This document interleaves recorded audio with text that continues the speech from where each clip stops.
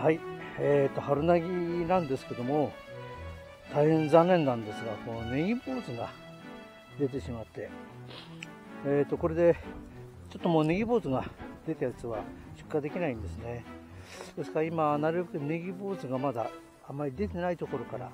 収穫をしているんですが、えーと、これはですね、私が種まきの時期を完全に勘違いしてまして、本当はこのネギは去年10月まいたんですがこの定食してからですね1月からは本当はトンネル栽培をしないといけなかったんですがトンネルかけないんでかなり勘に当たってですねいわゆる遠出しですねちょっと花が咲いてしまったと。残念なんですけどこれはもうちょっと潰すしかないですね。でとりあえずこの根はですねまだえー、っとネギ坊主がもう出そうになってますがまだ出てないやつが多いので早めにですね収穫してしまおうということでちょっとやってみます。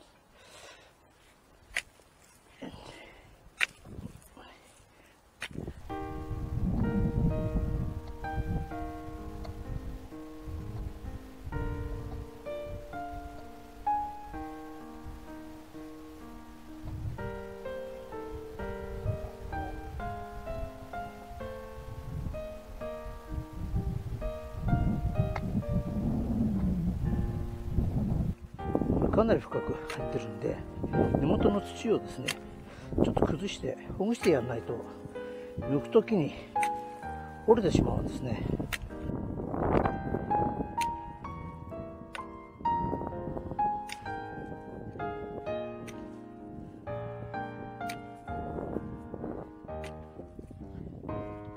どの辺までいってんですかね。結構出てますね。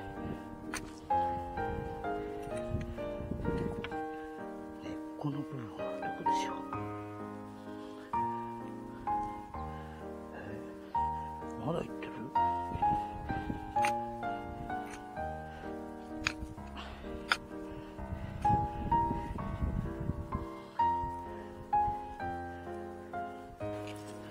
ちょっと見てみようかああまあこの辺ですね。15センチくらいですかね。まあいいか。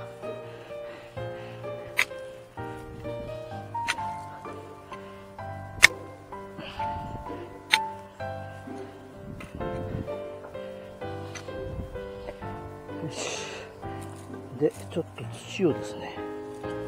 どかして抜くときにしっかりとつかめるくらいの。で何本かまとめて均一に力入れてやればですね1本あたりにかかる力は少なくなるんで I really deal love this.